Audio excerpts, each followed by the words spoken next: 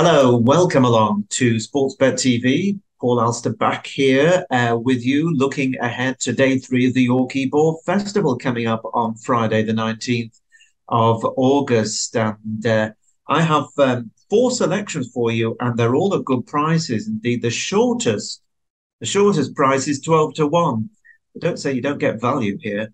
Um, so if you're new, then press the subscribe button just below the screen because you won't want to miss out on any of the uh, tips coming up uh, going forward, which are always tasty prices. Um, well, we've uh, had one day's racing at the Knavesmire, and I have to say, uh, for us, it was uh, profitable, which is always great to start uh, the meeting with a profit. But of course, the big highlight of day one was the brilliant performance of Baaeed. He was marvelous, absolutely marvelous uh, just murdered Mishrif, who is a 122 something rated horse, if not a shade higher. And clearly, it was one of the best uh, three or four performances we've seen over the last 30, 40 years. It was a wonderful uh, display, and he is a truly great racehorse. And of course, uh, the Champion Stakes looks his uh, um, bother shouting at uh, Ascot in October. So that was great for York. It was great for racing to have some really positive headlines about an outstanding horse. As far as day one went for us, well, I had four recommendations. Giza sub ran pretty well, uh, was staying on nicely at the finish, but couldn't lay a glove on them, uh, finishing ninth of the 22 in the sprint. Frankenstella, well, she caught a tartar, didn't she? She ran a blinder. Uh, what a terrific mare she is. Um, I hope you were on her each way at the 10s recommended. Alfred Boucher, who beat her, he's clearly a step or four ahead of the handicapper at this trip. But she had the rest very well beaten off. She was returned 15 to 2 from the tender one recommended. Cuban Breeze recommended at 8 to 1, returned at 11 to 2. Another of Alster's picks that got um, uh, well supported and kept on well, having been outpaced uh, furlong and a half out to hold on for fourth and our each way money. And then in the last, well, Utilis uh, drifted like a barge and um, went off at 40, 40, 40 to 1. Last at halfway, I was beginning to think, well, this is a bit of a stumer, isn't it? Uh, but then he really did pick up and he was finishing best of all. He finished sixth, getting into the uh, place money for us, recommended for six places. And I saw happily that some of you were on for the each way and got the each way treble at a, some nice prices there. So a really nice start um, to the meeting. No winners, but profits. And it's not always about winners. You know, you could have backed Baaeed at two to five and claimed a winner or you could have backed Utilis each way at 40 to 1 and um, Frankenstella at 10s and um, Cuban Breeze at 8s. I know which way I'd like to play the game. Winners don't always make it pay. It's the ones that give you a profit that count overall. Right. Uh, we don't know the results of day two, of course. This is being recorded Thursday, uh, starting at uh, half past 10 in the morning. Uh, but what I already know is that two of my three tips have already been very well backed that surely isn't coincidence. This is happening all the time. Tyranny and C put up uh, for day two at 16 to 1 is down to 8 to 1 at this time of this recording. A real gamble going on Tyranny and C. And La Petite Coco, of course, my favourite horse, uh, recommended at 11 to 2 each way, now down to 7 to 2 for the Yorkshire Oaks. And she's second favourite now uh, behind Alpinista. And that drop of rain won't have harmed her chance. Uh, illustrating has eased out a touch to 16s from 14s by the time you see this, you may well know what happened to those horses. On we go then um, to uh, Friday and the four recommendations. The first is in the opening race, so you won't have to wait long on Friday for a bit of a shout, hopefully. The 150 is the Sky Bet handicap over a mile and a half and good on Sky Bet. £100,000 handicap here, 19 runners. They're going generally good. They're forecasting good to firm in places, but according to the Met Office, and I've been on their site because you've got to try and take all angles into account. They are expecting a potentially one or two very sharp showers to drift across West Yorkshire into North Yorkshire and possibly hit York in the early evening on Thursday. And that wouldn't be a problem for the horses I'm interested in. So I'm expecting more or less good ground. Now, the betting 15 to 2 the field, which tells you everything about this opener on Friday. Wondermontal Ban for Kevin Philippart of Foy very progressive, gone up five pounds for an easy Ascot success over the mile and a half four weeks ago. He won't be far away. Um, William Haggas has put cheekpieces on first time on Maharajan, who was beaten a neck at HQ. He's gone up two pounds for that defeat. William obviously feels he's maybe not putting 100% in, maybe just focus his mind. Ralph Beckett's Lord Protector is moving back up to a mile and a half. He looked unlucky in a really hot race at Goodwood last time out over a mile and a quarter, where he ran on very strongly in the closing stages. Brian Ellison, um, who did us a favour with um, uh, the horse uh, on day one, Utilis running well into a place. He's got two here, Cormier and one smooth operator. Now, they're both interesting. Cormier, a really talented dual purpose horse. You may recall him back in March winning the Morebattle Hurdle at uh, Kelso. He went on to finish seventh in the county hurdle and then unseated in the Swinton hurdle when still in touch three out. Uh, he made a really good comeback after a break, switching to the flat. He won at Chester over a mile and a quarter on the last day of July. He's gone up eight pounds, but clearly he's in very good heart, Cormier. But I do like Brian's other runner, which is one smooth operator, and he's my choice here. Uh, Brian does well uh, at York. He, he, often has horses. They might not all win, but he has plenty placed at nice prices, as we found out on the opening day. Ben Robinson rides one smooth operator, and this horse started out last year with David Simcock, and he won on his uh, debut over a mile and a quarter on the all weather at Newcastle. Um, that was in March of last year. And um, eventually he left David Simcox. Um, he was gelded and he joined Brian Ellison last November. Now, on his second start for the yard, he won at Southwell over a mile and three furlongs, easily taking a handicap upper mark of 81. And then he was a runner up three times, including a couple of really uh, close finishes where he was edged out, before he stepped up in grade and ran in the all weather marathon at the Easter fixture and was an excellent close third to Earl of the Cotswolds in a £150,000 race. He was only beaten a length and a half or something. So this horse has really been progressing under Brian's guidance. He was um, he came back from a two month break and he came to York uh, for a mile and three quarter listed race. Now, he finished last of six, and on the face of it, people that just look at the bare statistics think, well, that wasn't much good, was it? Well, actually, it was. It was. It was a good run, that last of six, because he was only beaten four and a half lengths in a listed contest. And he really shaped as though the ability is there back on turf. That was his first run back on turf, really, uh, since the previous year, having been campaigned all winter on the all weather. I thought that was a hot run, especially with, without a doubt, the winner um, rated in the 110 pluses. So I think the horse that ran a good race. He didn't run well, though, really, in the Northumberland Plate.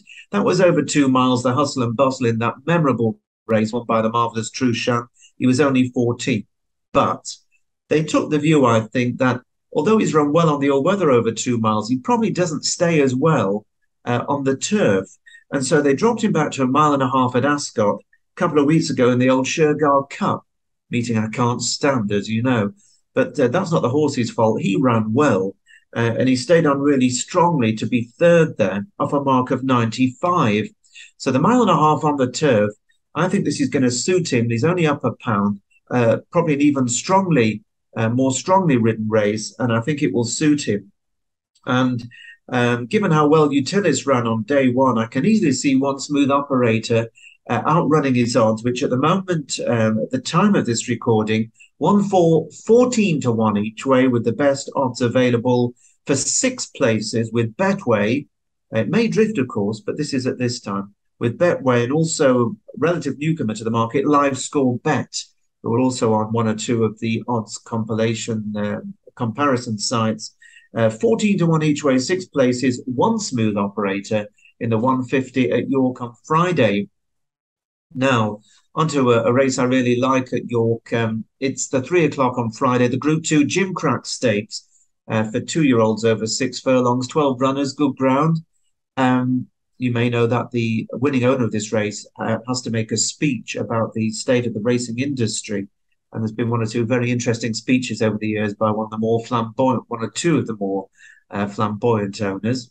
Well, the favourite is likely to be Royal Scotsman for Fitri Hay. It's got a three pound penalty, which is not always good in group races, of course. Uh, but it was for a very pleasing win in the Group Two Richmond Stakes, and he does look the one to beat on that. But those three pounds could catch him out. He previously run, of course, an excellent third in the Coventry Stakes. So this is a horse who is really classy, talented horse for Paul Cole, Royal Scotsman. Now, there's a there's a couple that have similar profiles here. Karl Burke's Marshman and Godolphin's uh, Noble Style, trained by Charlie Appleby, was rated 103. They're both two from two, unbeaten, and they both won decent novice races last time out. It's also a similar story for Richard Fahey's clear point, who's two from two, including in a novice win last time. But stepping up from a novice to a Group Two race is quite a big jump. And um, it will be interesting to see if any or any of those can really um, make the grade. Now, Kevin Ryan has done well in the Gimcrack over the years. He's got Catch the Paddy, who won a course and distance race, so we know he likes the track. A nursery in July of 82. He's up to 90, but he's going to have to improve at least another 10, 12 pounds, I would say, to get competitive. And Burke also has one here called Cole Case, who won a course and distance maiden in June. Uh, he was a beaten favourite last time out at Chester. That might have been down to the unique, tight Chester track. Um, and then at a big price, there's Richard Spencer's Waiting All Night, who might be overpriced in my view. Um, he's been fifth in both the Group 2 Coventry Stakes and the Group 2 July Stakes at Newmarket. So we know he can more or less hold his own at this level. But I want to take a chance here on a horse trained by Andrew Balding and ridden by Tom Marquand, and that is Chateau. And Chateau is a nice horse. He won at Beverley over five furlongs in a novice stakes in May. And then he was uh, a very um, good fourth at the Royal Meeting to the high class Little Brown Bear, who, of course, was turned into a bit of a superstar. That was in the Windsor Castle Stakes over the five furlongs, and he stayed on well there. He went on to Newbury and went up to six furlongs, winning the listed Rose Bowl Stakes in good style, staying on really nicely. And then he was third behind Royal Scotsman uh, in the Richmond Stakes at um, Goodwood last time. Now, this is a horse who's got experience at big meetings under his belt. He's run well, um, including in the Richmond Stakes last time out. I think this more conventional flat galloping track will suit Chateau better than the Goodwood undulating and tricky camber and all the rest of it. So I think he looks very good each way value to get much, much closer to Royal Scotsman, especially he's three pounds better off due to Royal Scotsman's penalty. And at the time of this recording, uh, on Thursday morning, he is 12 to 1 each way for five places. And that's the best offer at the moment from Sky Bet. So I'm with Chateau in the Gimcrack Stakes at York, each way 12 to 1 at 3 o'clock on Friday. And then on to the big race of the day on Friday, the Group 1 Nunthorpe Stakes. 15 runners over five furlongs, one of the fastest five furlong races in the world. And it is uh, forecast good ground, maybe one or two spots of good to firm. Now, I'm not sure that this is as good a race as we normally see for the Nunthorpe. Um, of course, hindsight might prove a very powerful thing on a Friday afternoon, but um, I just looking through the race time and again, and I've been back and forwards over this race. I just don't see a, a star turn in it. Uh, I might well be wrong. Uh, we'll see. Now, last year I tipped the winner. That was Winter Power, who I tipped at nine to one and did it really well. Winter Power goes for a repeat performance, but hasn't been in the same kind of form this year, so I can't really recommend it. Now, I was actually commentating on the Nunthorpe back in 1992. Yes, I'm few years ago. 1992, I was commentating from the top of the grandstand there when Lyric Fantasy won it for Richard Hannon, the pocket rocket, as she was known, a two year old. She was absolutely brilliant. Um, and of course, she's not the only two year old to have won the race in the last 30 odd years. Kingsgate Native did it for John Best as well back in 2007. And this time round, Platinum Queen's uh, um, connections have very sportingly thrown her into the mix here. But this is going to be tough, even though she is a very, very fast two year old. She gets all the allowances, of course. Um, who knows? But Platinum Queen is a fine two year old, but is she a pocket rocket? I, I, I don't think so. Um, although, as I say, it isn't the strongest of renewals. Now, the one that's favourite at the moment is Royal Acclaim, the three-year-old for James Tate, who's unbeaten and won really impressively over course and distance last time, but that was in listed company, and it's a big jump from listed to Group One. What we know is this horse really likes the track and is very, very fast. If it has taken the required step forward, which after only three runs it might well have done, and this is the one, obviously the market's found it, uh, then Royal Acclaim could easily be the one to beat. I love Highfield Princess. She was tremendous in France, winning uh, 12 days ago, a Group 1 winner there for John Quinn and Jason Harper. That was six and a half furlongs in France. This is five furlongs at, on the Knavesmire. Has she got the speed for it? I'm not convinced, although I'm sure she's going to put in a really bold bid. And of course, regular followers will know that I love Khaadem and uh, recommended him a couple of times this season, but he really does need to improve just a little bit more once again, um, despite having uh, had such a good season and won really well in a, a hot race not too long ago. Um, and so, because of all the question marks about the horses at the head of the market, I've been looking for one at a price. And I've come up with one at a very big odds here. And remember, there have been some big prize winners uh, of the um, uh, Nunthorpe uh, in the not too distant past. And my horse um, I'm going with here is Ebro River for Hugo Palmer and Jamie Spencer. Jamie Spencer, the Marmite jockey that some of you uh, love. I love him. Some of you hate him, as you often make clear. Um, but he still is a tremendous jockey uh, when he has the right horse. Now, Ebro River was a really good two-year-old last year. It was a Group One winner. People seem to have forgotten he won the Group One Phoenix Stakes at the Curragh. Um, that was a cracking performance over six furlongs. Went on well, he had previously won the listed national stakes very easily by over three lengths on soft ground. Um, like so many horses, uh, they don't often, don't always go on to prove as good um, as three-year-old. To be honest, the first few runs of Ebro Rivers this season, I was beginning to think, well, maybe he was just a two-year-old. Um, but then um, he ran at Chester last time out. They put blinkers on him first time, obviously feeling that he wasn't really putting his heart and soul into it. They put blinkers on him at Chester in a listed race over six furlongs, and he won really well. And uh, as I mentioned uh, just the other day of this service, the second horse there went on to win a Pontefract listed race in very good style on Sunday. And then about 10 minutes later, the fourth horse from the Chester race came out and won a red hot handicap off a mark of 97 with a bit to spare. Now, that suggests to me that that race at Chester really was hot. Illustrating was six, and I've put that up on uh, Thursday, so it'll be interesting to see how she fares. But I saw in Ebro River that day a horse who seems to have fallen back in love with the game, and I think the blinkers have made the difference.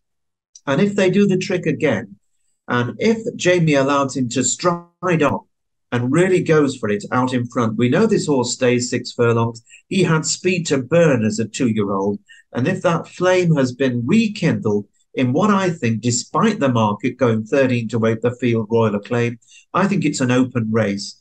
I'd rather be betting 40 to 1 each way, Ebro River, than 13 to 8, 7 to 4, uh, Royal Acclaim. So 14 to 1, 40 for row each way for four places is available at the time of this recording with William Hill, Coral, Sporting Index, Bet365, 10 Bet and others.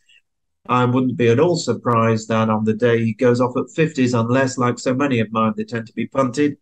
Um, so I've already uh, had a bit of 40s just in case. So Ebro River to spring a surprise in the Nunthorpe Stakes, the 335 on Friday. And then very quickly onto the last uh, choice on Friday. This is the 410 race at York over the extended mile and a quarter, a fillies handicap, 11 run, probably good ground. Not going to go through them all, but William Haggas has a horse called Amanzoe, who's very progressive in this on a four timer. Has only gone up three pounds for its recent win in the Shergar Cup. Forecast three to one favourite, probably the one to beat. Roger Varian has two, were both in a handicap first time. They've only had three runs. They're real dark horses, these two, Champion and Croke Hill. And either of those could be dangerous. So a market move for either Champion or Croke Hill uh, would be worth noting. But I'm going with a horse who I recommended last time it ran, and that is Yorkshire Lady, trained by Spitting Mick Easterby, who's still into his 90s, he's going strong. And if you've seen any of his YouTube videos, uh, his various cooking and his antics around the farm, they're absolutely priceless. He's, he's a superstar. His granddaughter, Joanna Mason, has made up into a very good jockey these days, and she's on board for Grambet. Anyway, this horse was really progressive last summer and won twice under Joanna Mason, a nine furlong handicap at Sandown off a mark of 75, and then follow up over the extended uh, 10 furlongs, same trip as Friday. That was at Haydock off 81. Then went on to be fifth in a listed race in France at the end of the season. So she was really progressive last term. I tipped her on her reappearance. And uh, actually, I apologize for that because I was hopeful that because he'd sent her down to Sandown, she was more forward than she usually is, that she had tended to need a run in the past, and she ran like that. Um, she shaped as if she was coming with a run two furlongs out, and Joanna pulled her out wide of horses. Um, but she just levelled off in the final furlong and just kept on one pace in the closing stages. But I think she's still of interest because she showed enough there to suggest the ability is there. I think she'll be a better horse this time. She hasn't had to go all the way down to um, south uh, of London. She's just running down the road from Mick's Farm. Um, and off 87, being held up and picking them off as she likes. I could see her running a very big race, Yorkshire Lady, and I'm really surprised at the odds. Generally 25 to 1, but at the time of this recording, Bet 365 are still going what I think is a very generous 33 to 1 each way for three places. Uh, shop around as ever. Yorkshire Lady, uh, I can see running a big race uh, for the Yorkshire crowd. And I think, if nothing else, that'll be why she's back. There'll be loads of ladies there uh, at York thinking this is the horse for me. Um, but there is the form there to back up uh, her name and give us a good run. So those are my four for Friday. Uh, make of them what you will. Uh, I hope uh, you'll give them some consideration. And if you do back them, let's hope they run very well indeed. I'm going to be back same time tomorrow with my preview of Saturday at York, which of course is Ebor Day, one of the great racing days of the year. But for now, from me, uh, Paul Alster here at Sportsbet. It's bye bye for now. I'll speak to you again tomorrow. Bye bye.